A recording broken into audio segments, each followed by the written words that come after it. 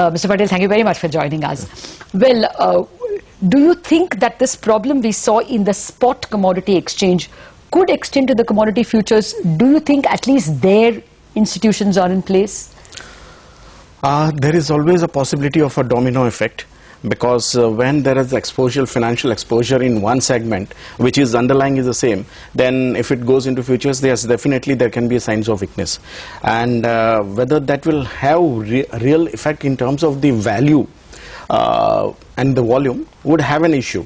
Uh, to be discussed and uh, I mean debated, but then as of uh, in terms of uh, structure issue, yes, it can pass through. Where do you see the problem coming in? Do you think that uh, the, this collateral issue, warehouse receipts would be a problem for uh, the futures exchanges? Or would it be, uh, you know, the, the, the settlement guarantee fund? Where are the weak links according to you? The weakest link is settlement. You see, uh, collateral issues come at the next stage when you are going into a physical delivery, and as we know, futures uh, except agriculture contracts, no, none of them are, I mean, basically uh, delivery settled. So that is where uh, uh, somebody's exposure and blocking of money, non-receipt of uh, the pay-in uh, and payout would could uh, lead to uh, weakness being translated into the settlement uh, part of the futures exchange as well. We have to see this on expiry after expiry to really see where the people have taken the exposures. Hmm. Uh, Mr. Patel, we know we don't know, of course, all the problems that are currently underway. But what could the most um, feasible solution be at this point in time, in your mind? Uh, I think it's a multi-level uh, mm, approach. First is immediate, and in the immediate uh, uh, future, we should be looking at what the government, uh, particularly Minister uh, of Consumer Affairs, trying to do. Professor Thomas, in fact, made a statement today of strengthening WDRA. So that is and making warehousing compulsory for mm, all accreditation with the WDRA. That's one part. But what I see another gap, which nobody has even thought about, who controls and regulates vaults where precious metal, gold, bullion, all other things are lying. There is no regulation. And uh, we have seen this default and stocks and everything coming into this. Then maybe, we maybe uh, waiting in a wings uh, another mm, issue on the bullion side. So I believe that the warehousing concept should be uh, expanded to include the vaults. Alternatively, the mm, exchanges which are having uh, vault uh, bullion ex- uh, contract should uh, be keeping their um, bullion or precious metal only in the vaults of the public sector banks. I think that is one nobody has even looked at it. The second fundamental issue, uh, Lata, would be that uh, mm, uh, what about the integrated, unified uh, settlement? I'm not talking regulator, that's a different issue. Settlement. We have uh, settlement uh, clearing houses and clearing corporations for each of these stock exchanges, each of the future COMEXes. Spot comes under the radar and there is Yeah. nothing of that. But if we really look, now we look at integrated financial market, and as we were talking about in the beginning of the risk transferring from one, uh, One segment to market to another, another. another market, and the fungibility of funds is so, I mean, with electronic digital money. I think there is a need, and way back in 2007, 2008, the uh, SEBI and Ministry of Finance were looking at uh, mm, the Integrated clear? integrated uh, mm, uh, or one single uh, clearing corporation. I think this is a real right time to look at uh, review that. And uh, I think even IOSCO CCP um, central counterparty would uh, actually dictate that one of the terms. And India complies with major of IOSCO terms in terms of capital market. I think that is where uh, people should be mm, uh, and regulatory and the government uh, authority should be concentrating to see yes my friends at the exchanges are going to hit me. On this they will not like it. But then frankly we can always find out. No, no, there is an FSDC in place. Uh, so clearly, you know, the integrated uh, uh, clearing corp uh, should be an idea which should be on their plate. But that is perhaps for the day after tomorrow. Yeah.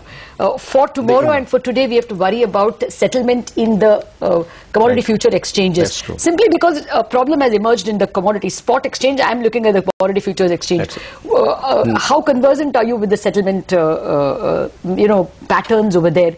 Do you think that they are adequately protected at all? Each action, and there again is the same thing. Each actions has their have their own uh, mm, uh, settlement guarantee fund, and it all and, uh, the core corpus, which is cash plus uh, uh, the collateral which comes in as an additional deposit margin and everything. That's where, in terms of futures exchange, there is a enough um, regulatory oversight from FMC, and there are enough guidelines. So in terms of uh, mm, immediately, mm, I mean, uh, I mean, hitting on the SGF uh, may not seem to a possibility. I think uh, enough confidence is there in the system because there is a regulatory oversight. Uh, spot was a very different uh, ballgame which fell somewhere in between and nobody really took uh, look at the baby.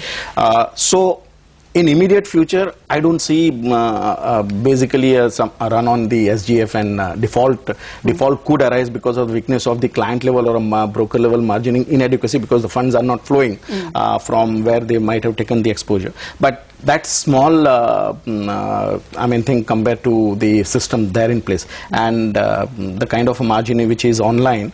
I think we will get early warning system for exchanges, get early warning system for any weakness of any particular uh, member broker or a client, and they can always uh, take corrective measure. Yeah. So no They need to actually, panic. Sir, the, uh, Mr. Patel, the uh, Bimal Jalan report highlighted uh, an important point in terms of ownership of market Yeah. infrastructure institutions. We can't go into that excellent report at this juncture, though it was much criticized when it came out.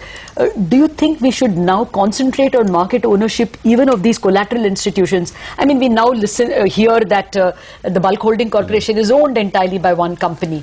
Uh, it wasn't a problem when things were running well, but uh, you know, NCDEX, uh, the collateral agency, is somewhat more diversely held, with NCDEX having only a, a smaller stake, a, a minority stake in it. Do you think now we should suddenly start concentrating on this collateral agency, look at all the market infrastructure institutions from the point of view of ownership? You're, you're right. Actually, if you look at it, uh, and what uh, didn't see the light of the day was 20, 2011 uh, notification on WDRA, where the ownership structure was discussed, including the ownership structure Okay, of spot okay. exchange. And that notification was almost ready to and waiting for approval of the ministry, which has not come. And you are right. Not only that, there is also issue of when you are looking of e- electronic warehouse receipt and negotiable warehouse receipt. I think the depository system, and that was what we had actually mm, uh, done. That ownership of all this, the, the fundamental uh, what suggestion I can make look at it, make this intermediaries uh, system as a Section 25 company. Not for profit, whether it's a clear, and that's why a single clearing corporation and depository, we already have the system, in, integrate them and then have that, so that the conflict of interest does not arise. Government can run a public sector bank, a public sector, so many other public sectors, then why can't they actually come? And ownership should be such that it should be a public financial institution.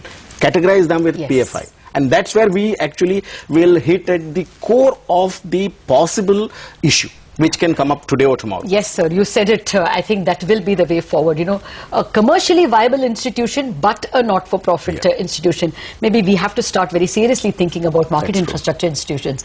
It's a beginning, but we will continue with this discussion in the days to come. Yeah. Thank you very much for dropping by in Thank our you. Thank you. All right.